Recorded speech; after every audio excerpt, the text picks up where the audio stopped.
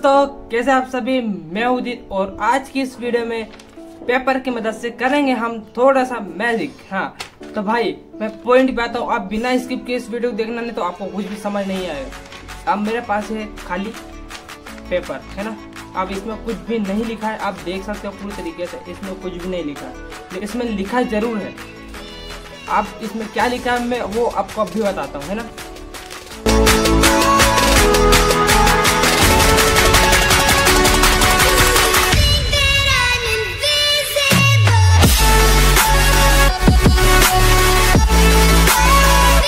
देखा ये कैसे वर्क करता है?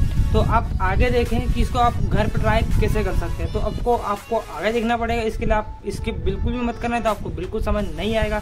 तो आप देखिए आगे और इन्जॉय करिए इस वीडियो को।